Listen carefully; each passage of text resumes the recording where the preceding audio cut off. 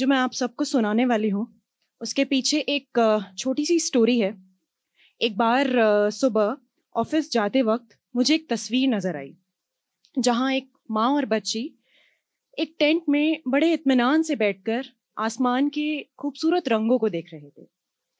और उसी कॉन्टेक्स्ट पे मैंने कुछ ख्याल लिखने की कोशिश करी है। उम्मीद है आपको पसंद आएगी। उसका उन्वान है, उफुक। सुनो, वहाँ जमी के उस पार एक ओढ़नी में लिपटे हैं समंदर और आसमान। अब क्या कहा जाए? समंदर की गहराई में डूबा है आसमान, या आसमान की ऊंचाइयाँ चूम रहा है गहरा नीला समंदर?